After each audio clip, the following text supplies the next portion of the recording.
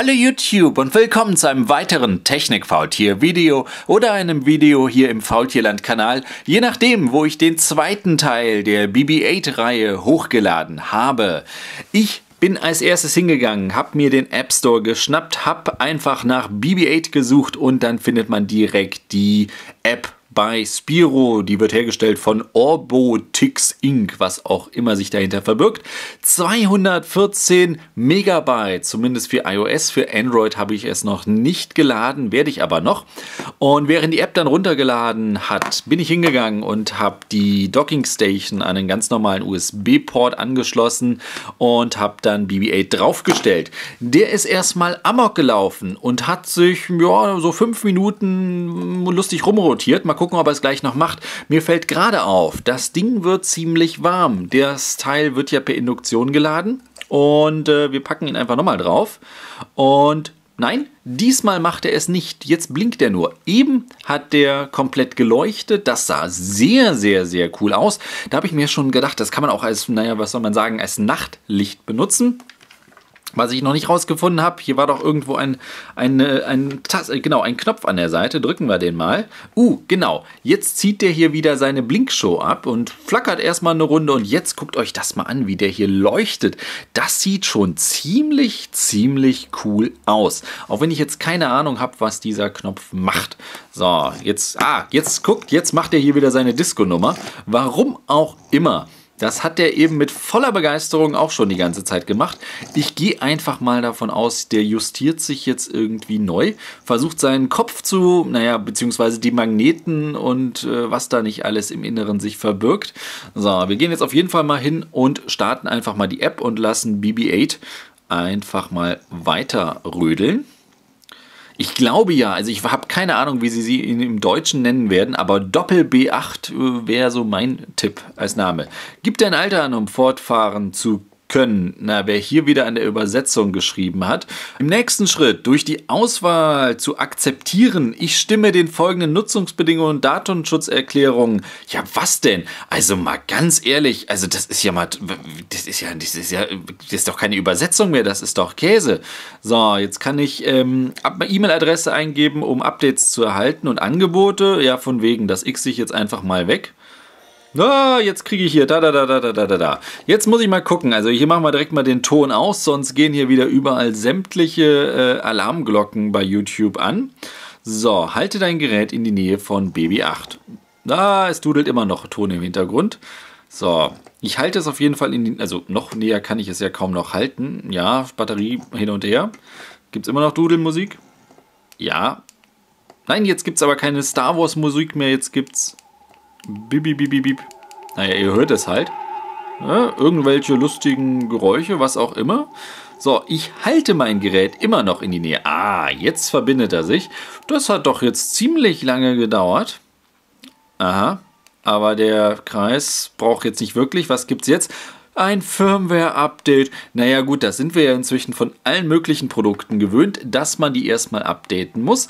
Ähm, wird natürlich jetzt nett animiert, warum ich jetzt ein, 2% ruckzuck ging und jetzt muss man erstmal warten. Naja, ich muss aber sagen, BB-8 hat sich jetzt langsam wieder eingefangen und leuchtet zwar immer noch. Also ganz ehrlich, allein dieses Leuchten, da würde ich mir ja fast wünschen, dass man das wirklich kontrollieren könnte, den dann in der Dockingstation einfach auch als äh, Lampe benutzen kann oder vielleicht als Notification-Teil. Das wäre auch mal was. Dann fängt er an zu leuchten, je nachdem vielleicht noch in unterschiedlichen Farben, je nachdem nachdem, ob eine SMS reinkommt, WhatsApp oder was auch immer. Das wäre doch mal auch ein cooles Feature. Nur mal so am Rande. So, auf jeden Fall, ich sehe schon, ihr, das dauert jetzt erstmal. Das heißt, ich mache jetzt einen Schnitt, bis das Update durchgelaufen ist.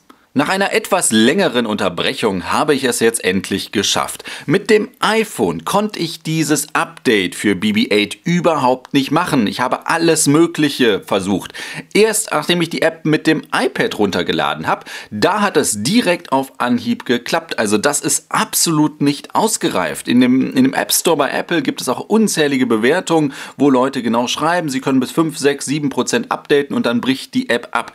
Ich habe alles Mögliche gemacht. Ich habe die wieder installiert, runtergeschmissen. Ich habe das iPhone immer wieder neu gestartet. Es hat einfach nicht geklappt. Und hätte ich jetzt nicht ein anderes äh, Gerät gehabt, was weiß ich, ein anderes Tablet, auch ein Android-Gerät oder was auch immer, hätte ich jetzt gestern Abend BB-8 überhaupt nicht äh, in Gang gekriegt. Und das finde ich sehr schade. Also das stimmt. Also ich bin, kann ich auch jetzt ja sagen, ich habe gestern Abend direkt auch ein bisschen damit rumgespielt und wie oft die App sowohl auf dem iPad als auch auf, äh, auf dem iPhone immer wieder abgestürzt ist, das ist Murks oder wie oft das Ding die Verbindung verliert. Naja, also ich bin, meine Begeisterung hält sich gerade sehr in Grenzen. Es gibt aber, sind aber mehrere Gründe.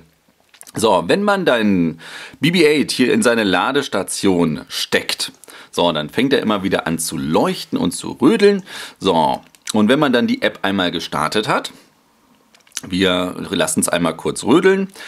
Die App dauert immer. Jedes Mal, wenn ich die App starte, dann dauert dieses Initialisieren, dann kommt die Verbindung und das dauert. So, und wenn die App dann eingerichtet ist, also nach diesem Update von gestern oder diesem Firmware-Update, was dann äh, kam, landet man genau in diesem Menü und bekommt folgende Auswahlmöglichkeiten. Fahren, die Nachricht aufnehmen, Patrouille, was, wo ich dachte, wird ziemlich cool sein, wenn er die ganze Zeit rumfährt und rumpiept und so.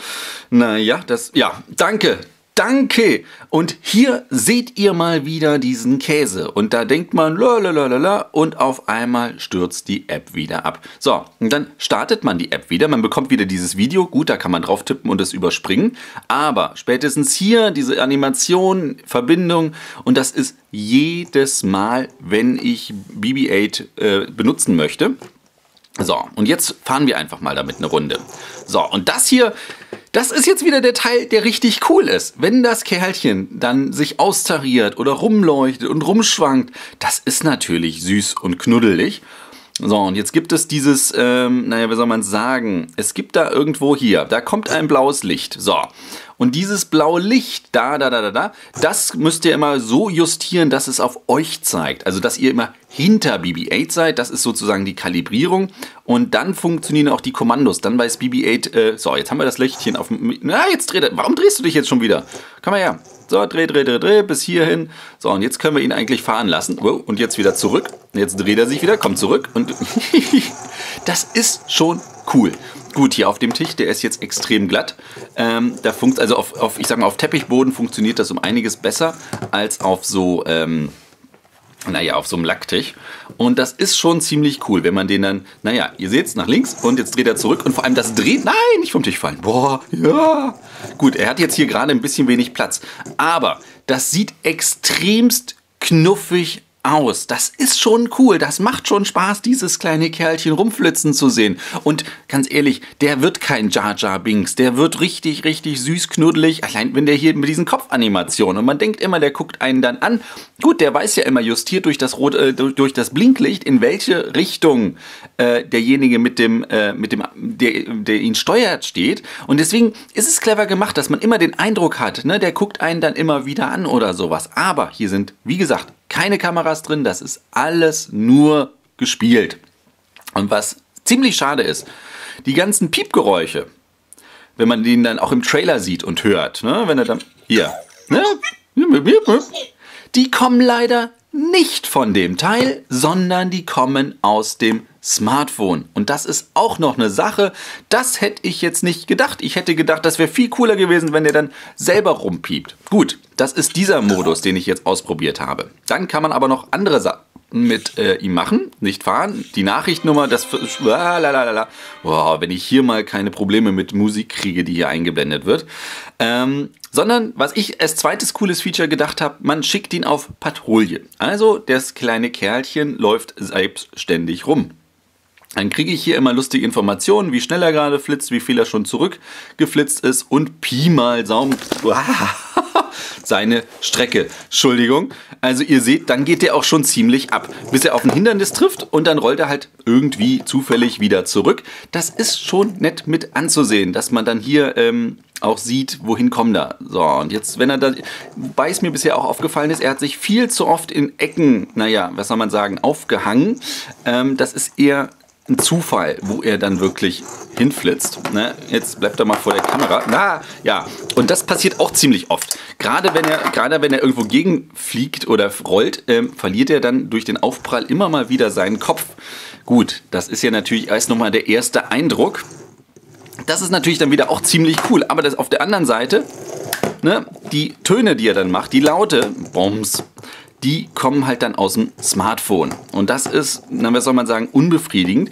Denn wenn ich jetzt aus der App rausgehe, ne, boing, dann gibt es keine Töne mehr. So, das ist natürlich total blöd. Und das Zweite, was total blöd ist, irgendwie hört er dann auf mit seinen Patrouillenfahrten. Bedeutet, die App muss permanent laufen anscheinend. Ne? Dann schaltet er sich ab. Jetzt kommt die Aufwachanimation. Jetzt leuchtet er wieder. Das ist ziemlich cool. Da hätte ich gedacht, damit kann man viel, viel, viel mehr coole machen, Sachen machen. Und ähm, naja, jetzt sind wir wieder. Jetzt ist er halt nicht mehr im Patrouillenmodus. Bedeutet, wenn ich mein, mein Smartphone nutzen möchte, um BB-8 zu kontrollieren, kann das Smartphone nichts anderes mehr machen. Bedeutet, BB-8 ist dann eigentlich eher etwas, was man mit seinem Zweitgerät startet, kontrolliert wo man ihn denn dann mit flitzen lässt.